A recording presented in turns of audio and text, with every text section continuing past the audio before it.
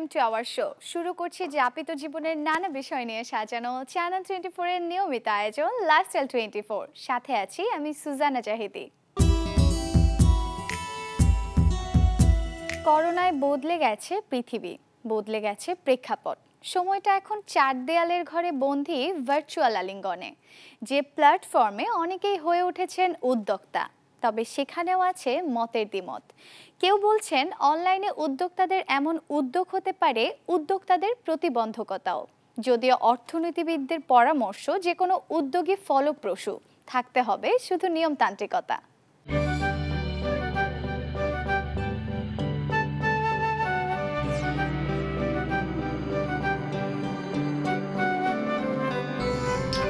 যখন আমি ফেসবুকে দিলাম জিনিসটা, তখন অনেক অপরিচিত মানুষ, যারা আমার ক্লায়েন্ট না, তারাও অলরেডি ক্লায়েন্ট হয়ে গেল। এই জন্য পরে চিন্তা করলাম যে আসলে আমি পেজটা এতদিন খুব বেশি অ্যাক্টিভ ছিলাম না বা অতটা গুরুত্ব দিয়ে আমি পেজটাকে সাজাইনি বা কিছুই করিনি। তো এখন আমি ডিসিশন নিয়েছি যে ওয়েবসাইট করে সুন্দর করে করব।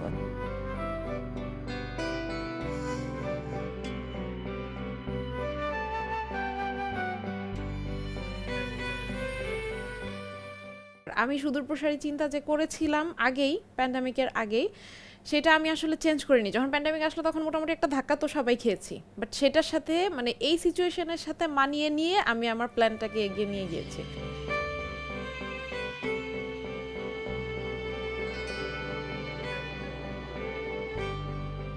আজকে যে পিঠার রানী বা পিঠা আপু হিসাবে আমি পরিচিত, এটা করোনার সময়ই হয়েছে মূলত। আমার যে ক্রেতা করোনার সময়ই নাইনটি পারসেন্ট বেড়ে গেছে। বারো হাত শাড়ির তেরো হাতে গল্পে কেউ বাঁধেননি নিজেকে বরং দীর্ঘ এই প্যান্ডামিকে ভার্চুয়াল পৃথিবীতেই উড়িয়েছেন তাদের স্বপ্নের উড়ান। সবারই অভিমত সময়ের সাথে নিজেকে বেঁধে ফেলাটা জরুরি। যেটা হয়ে গেছে সেটা তো হয়েই গেছে। এখন যদি আমি ওই ক্ষতিটা এখানে টেনে নিয়ে আসি তাহলে এই ক্ষতিটাও অ্যাড হবে নতুন করে। এজন্য আমরা এখন চেষ্টা করব নতুন করে আগাতে। এক্ষেত্রে অর্থনীতিবিদদের বিশ্লেষণটাই বা কেমন? করোনার ক্রান্তি লগ্নে হয়তো উদ্যোক্তা হয়ে উঠছেন অনেকেই তবে শত উদ্যোগ কি শত উদ্যোগের বাধাও হয়ে দাঁড়াচ্ছে? আমি মনে করি না যে নতুন উদ্যোগগুলো কোনো সমস্যা সৃষ্টি করবে তবে হ্যাঁ সেসব জায়গায় কিন্তু একটা নীতিমালা থাকা দরকার যেখানে সেই নীতিমালাটা কনজিউমার রাইটকে প্রোটেক্ট করবে। Neel Mahbub channel twenty Dhaka. বাঙালির ঘর সাজানোর সবচেয়ে বড় উপকরণ নানান রকম ফার্নিচার। শিল্পীর কারুকাজে নানান রঙে, নানান ঢঙে তৈরি হয় এক একটি আসবাবপত্র। কেমন হবে? যদি নিজের মতো করেই তৈরি হয় নিজের পছন্দের ফার্নিচারটি?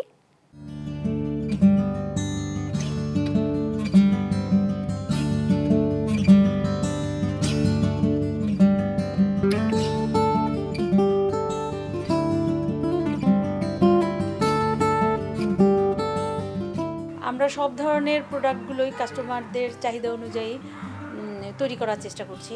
লিভিং রুম আর ড্রয়িং রুমের স্পেস অনুযায়ী আমরা যেটা করি কাস্টমার চাহিদাকে মূল্যায়ন করতে।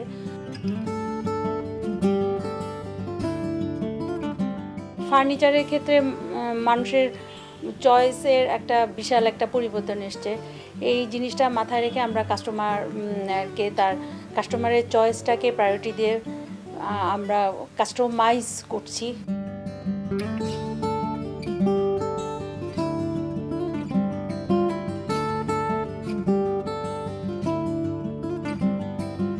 মানুষ একটু চায় যে আমার রুমে নতুনত্ব আনতে যে একটু কর্নার সোফাটার চাহিদাটা একটু বেশি। সেক্ষেত্রে আমরা যেটা করছি কাস্টমারকে দেওয়ার চেষ্টা করছি যে তার রুমের মাপ অনুযায়ী কর্নার সোফাটাকে আমরা কীভাবে তাকে দেওয়া যায়।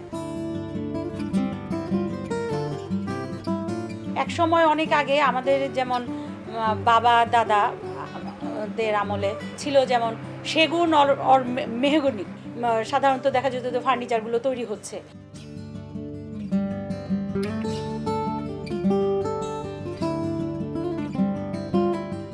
সেগুন থেকে দেখা যাচ্ছে যে ক্যানাডিয়ান উক ভিনিয়ার যেটা, উক কাঠ যেটা, এটার চাহিদাটা বেড়ে যাচ্ছে। তো আমরা এটা নিয়ে স্পেশালি আরও কি করা যায় নতুন নতুন ইউনিক কিছু তৈরি করা যায়, এই নিয়ে ভাবনা আর কি আমাদের। আমরা সব জাতীয় মেটেরিয়ালস নিয়েই কাজ করছি। কাস্টমারের চাহিদা অনুযায়ী তাদের চাহিদাটাকে মূল্যায়ন করতে যে আমরা প্রতিনিয়ত আমি আর আমার ছোট ভাই এটা নিয়ে ভাবছি যে কীভাবে আগানো যায়।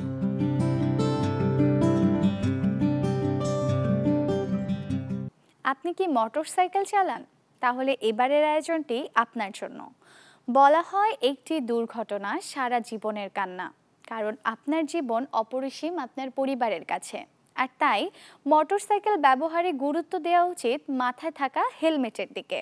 কারণ একটি ভালো মানের মজবুত হেলমেট কিন্তু রক্ষা করতে পারে বড় দুর্ঘটনা থেকে।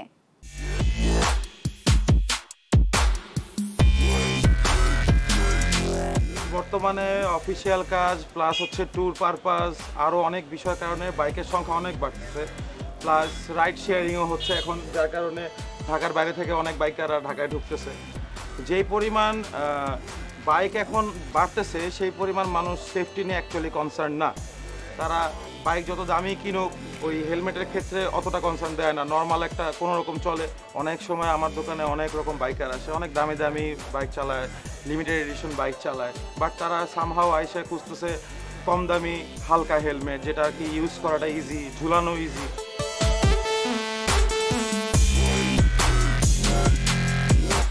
হেলমেট কেনার সময় সবাই চিপ রেট লাইট ওয়েট এই দিক দিয়ে সবাই চলে যায়। প্রোটেকশনের জিনিসটা ম্যাক্সিমাম মানুষের মাথায় থাকে না।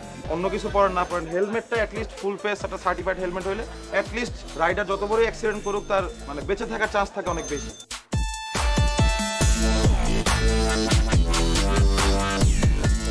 হেলমেট যেটাই হোক না কেন, যে ব্র্যান্ডেরই হোক, যেমনই কালার হোক whatever it is certified হইলে সব দিক দিয়ে প্রোটেক্টেড আগে যেমন এত ভেরিয়েশন ছিল না, দুই একটা, তিনটা কালার ছিল, এখন গ্রাফিক্স আসতেছে, এক কালার আসতেছে বিভিন্ন কালারের ভাইজর আসতেছে, অনেক রকম ভেরিয়েশন আসছে, অনেক ব্র্যান্ড আসছে।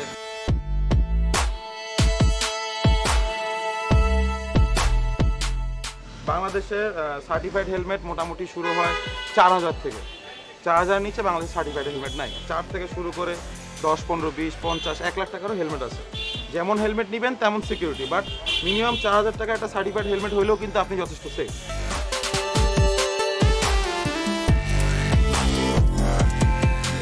হাইওয়েতে যখন একটা মানুষ যাবে ডেফিনেটলি হেলমেটের সাথে আরও কিছু সেফটি পড়ুক কিন্তু আপনি যখন সিটিতে রাইড করতেছেন বা নর্মাল কমিউট করতেছেন অফিস যাচ্ছেন বাসা যাচ্ছেন, সেক্ষেত্রে আপনার এত কিছু সেফটি গার্ড না পড়লেও অ্যাটলিস্ট মিনিমাম একটা ফুল ফেস হেলমেট পরা উচিত।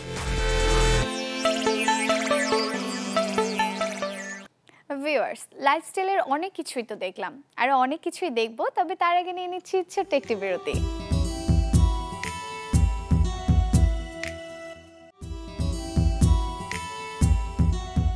ওয়েলকাম ব্যাক এভরিওয়ান আপনারা দেখছেন লাইফস্টাইল টোয়েন্টি ফোর আমি সুজানা জাহিদি আছি আপনাদের সাথে।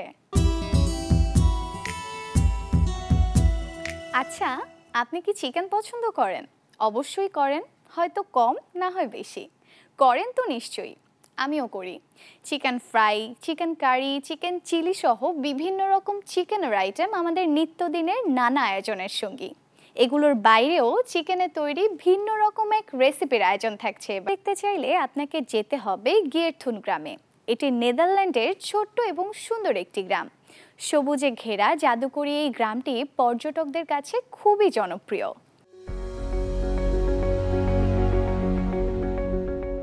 নেদারল্যান্ডসের ভ্যানিস নামে গ্রামটি বারোশো সালে প্রতিষ্ঠিত হয়। অন্যান্য স্থান থেকে এই গ্রাম আলাদা, কারণ এখানে যাওয়ার কোনো রাস্তা নেই, আর এই জন্য এখানে কোনো গাড়ির শব্দ শোনা যায় না।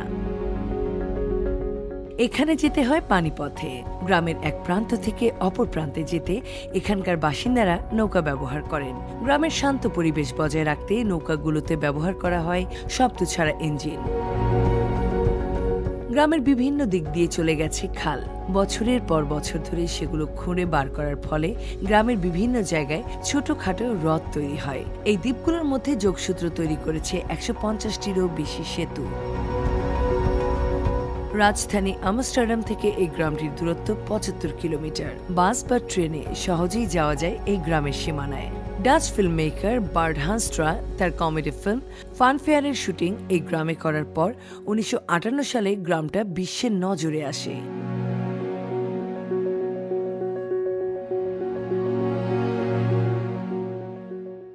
ভিউয়ার্স, লাইফস্টাইল টোয়েন্টি ফোরের আজকের আয়োজন এতটুকুই। আগামী পর্বে লাইফস্টাইলের আরও ধামাকাদার সব খবরাখবর নিয়ে চলে আসব আপনাদের সামনে। ততক্ষণ পর্যন্ত ভালো থাকুন, সুস্থ থাকুন এবং চ্যানেল টোয়েন্টি ফোরের সাথেই থাকুন।